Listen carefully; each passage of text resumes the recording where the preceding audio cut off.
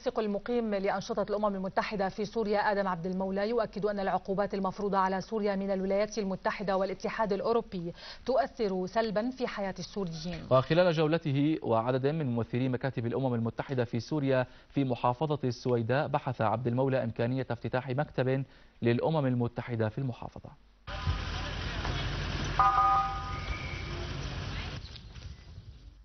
زار وفد من منظمة الأمم المتحدة محافظة السويداء بهدف إنشاء مكتب للمنظمة في المحافظة وبحث الوفد مع السيد المحافظ الدكتور عاطف النداف إمكانية تنفيذ ذلك لأن المنظمة تسعى إلى توسيع عملها عبر افتتاح مكاتب لها في مختلف المحافظات.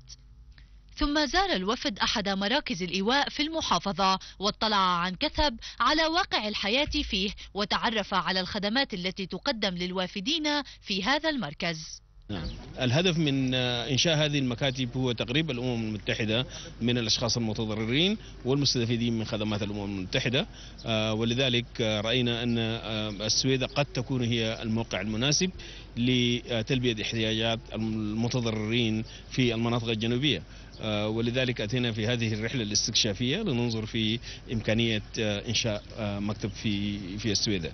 بالنسبة للزيارة إلى مركز الإيواء أعتقد أن هذا من من أميز مراكز الإيواء التي زرتها في سوريا وتقوم الدولة هنا بتقديم الرعاية الكاملة للأشخاص المتضررين.